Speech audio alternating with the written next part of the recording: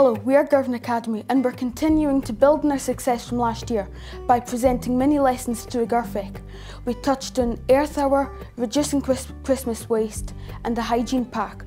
We're also still working with the Galloway and Southern Ayrshire Biosphere and we even attended their annual AGM. In terms of biodiversity, we've been planting in the raised beds at school. We recently planted a raspberry hedge which we hope to be able to pick fruit from in the autumn.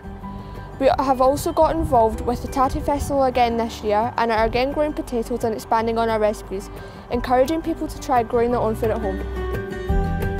In terms of the building itself, we've been installing LED lights that are more cost efficient and will be saving more money and energy. And we're planning to install thermal insulated glass so we can keep the heat in during winter. Here we are in our polytunnel where we plant our seeds. Speaking of seeds, we're looking to continue our new annual plant and seed swap, where we encourage people to share any extra seeds or seedlings to increase our biodiversity and variety in their own gardens. In terms of future plans, we are in the process of making trellis and green walls to cover the outdoor classroom.